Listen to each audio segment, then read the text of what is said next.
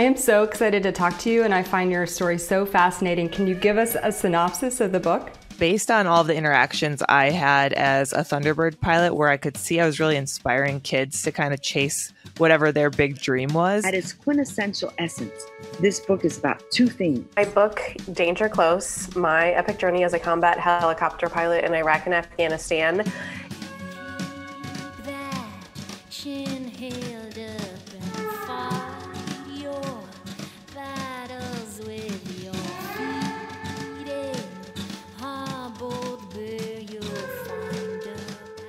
The dawn of the Great Migration, and the dawn of aviation. Can you give us an overview? Give us an overview of your book. My book is called Fly Girls, about uh, female pilots fighting for the right to fly and race planes in the 1920s and 30s. This is my second book, Dorothy the Brave.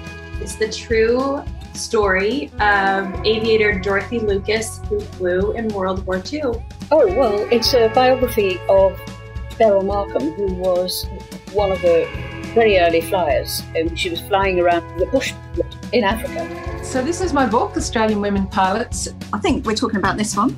The Women Who Flew for Hitler. I was just astounded to come across this story. I couldn't, I couldn't believe this story existed and I hadn't known about it earlier.